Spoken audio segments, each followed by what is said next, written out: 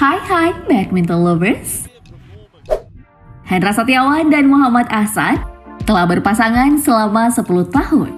Tiga kali juara dunia BWF sudah cukup menjelaskan kehebatan mereka.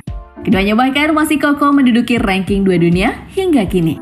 Namun bukan berarti karir Hendra Ahsan cemerlang.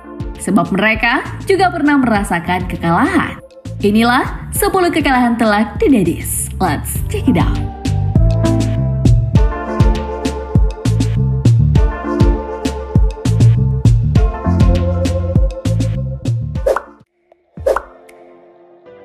Sejak berduet pada Oktober 2012, sepak terjang Hendra Ahsan terus meningkat. Mereka meraih 6 gelar prestisius sepanjang 2013, termasuk BWF World Championship dan BWF World Super Series Finals. Berlanjut ke 2014, Dedis menggondol tiga gelar juara. Pertama adalah All England Open, kemudian memenangi Hong Kong Open, dan paling prestisius tentu saja menyabet medali emas Asian Games.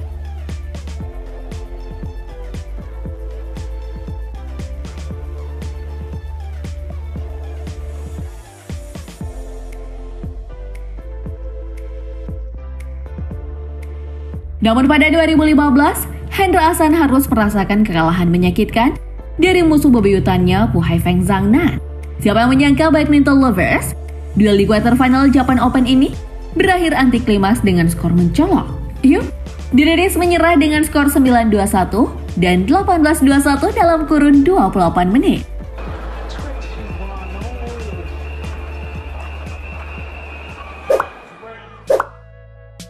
Hendra Hasan sepertinya alergi dengan pebulu tangkis China.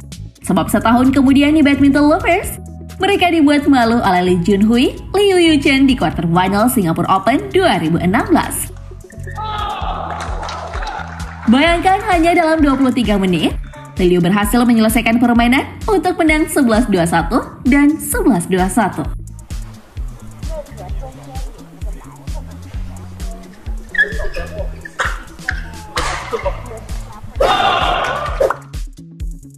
Hendra Hasan kembali bersua Liu 5 bulan kemudian Badminton Lovers. Quarter final Korea Open 2016 jadi arena pertarungan kedua ganda putra ini. Mengusung misi balas dendam, Dededis kembali menanggung malu. Sekali lagi, Kohendra Baba Asan keok 2 set langsung dengan skor 11-21 dan 16-21 selama 27 menit di lapangan.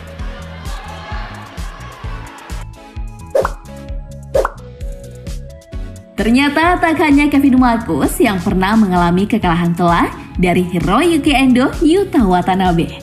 Hendra Hasan pun pernah merasakannya di grup stage BWF World Tour Finals edisi 2018. Dentuman jam smash Baba Asan dan trick shoot milik Kohendra tak kuasa menembus kokohnya pertahanan dari ganda putra Jepang tersebut. Makanya Dedis tumbang dengan skor 4-21 dan 18-21 selama setengah jam lebih 2 menit.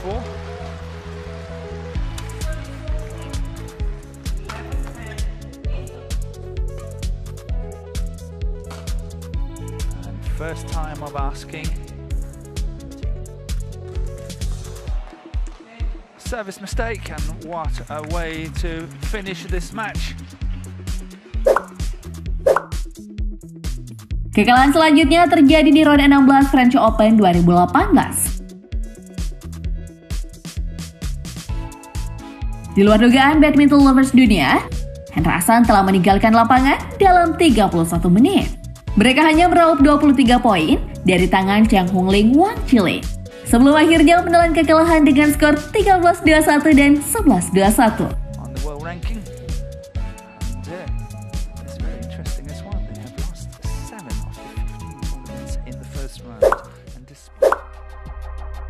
Nasib buruk rupanya masih menangi Hendra Asan di Fighter China Open 2018. Ganda putra independen Indonesia ini dipecundangi Huang Kaikxiang Wang Yiliu pada babak 16 besar. Sekali lagi mereka hanya meraup 23 poin sepanjang laga selama 27 menit.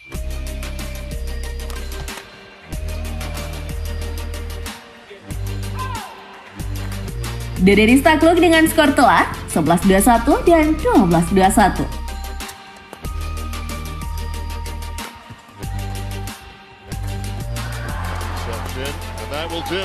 Brilliant performance today. The young Chinese. Selanjutnya ada dua kekalahan mencolok Hendra Ahsan kontra Kevin Sanjaya Sukamulyo, Marcus Fernaldi Gideon. Pertama di semifinal India Open 2018, Denis tak mampu bertahan setengah jam ketika menghadapi juniornya tersebut badminton lovers. Selama 27 menit, duel berakhir untuk kemenangan Binion 11-21 dan 16-21. Kevin Sanjaya Sukamulyo Marcus Fernali Gideon kembali menang telak dari Hendra Ahsan di final Denmark Open 2019. Jika sebelumnya duel telah berakhir dalam 27 menit, maka kali ini badminton lovers Dennis bertahan semenit lebih lama. Ya, setelah 28 menit, Minions membuat seniornya puas menjadi runner-up berkat kemenangan strike set dengan skor 14-21 dan 13-21. 2019 medalists.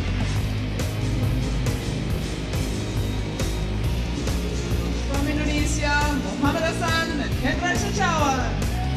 Well, it was their ninth final of the year. Tak hanya sekali saja badminton lovers, Wang Chilin kembali meraih kemenangan telak dari Hendra Ahsan bersama partner berbeda.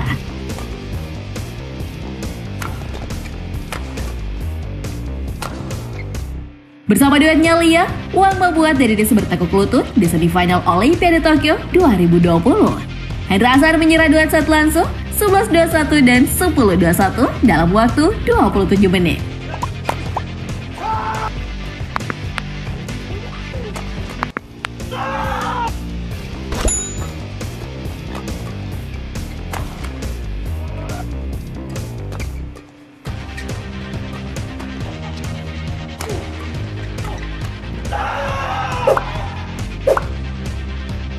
Paling anyar Dennis dipecundangi oleh Mark Lamses Marvin Seidel. Siapa yang menyangka badminton lovers? Diet yang paling dihormati ini dikandaskan ganda putra andalan Jerman di round 32 Denmark Open 2021. So Hendra said he won. Ya, Hendra Ahsan harus angkat koper lebih dini setelah menelan kekalahan dua set langsung 17-21 dan 13-21 lewat pertarungan 29 menit. And that's it. A second time of asking